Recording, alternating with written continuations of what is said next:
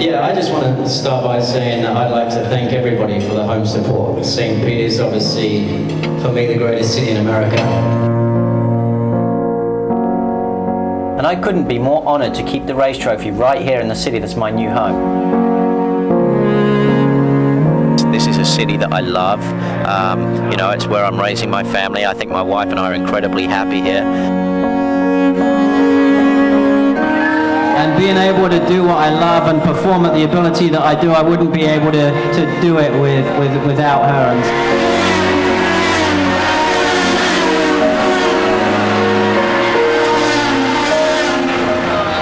I'm presenting Dan with a photograph of the victory podium of the 2005 Honda Grand Prix of St. Petersburg when Andretti Green Racing went 1, 2, 3, and 4.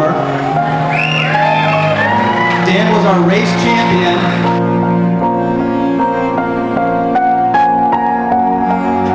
Um, you know there's there's there's really if, if, if you can't if you can't race at the actual race itself which you know for me is is um, you know upsetting to some degree but this is this is making it a lot better being able to to announce something that I think is going to be you know very good for, for me for Bryan Herta Autosport and uh, and for the future.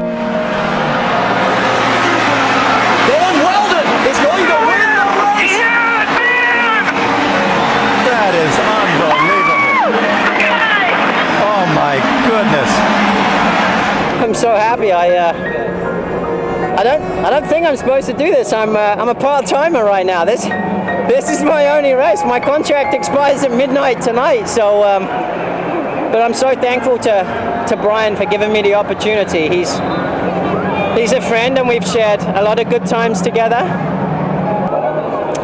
We shared some tough times together, and this is this is just amazing. It's so I'm so happy.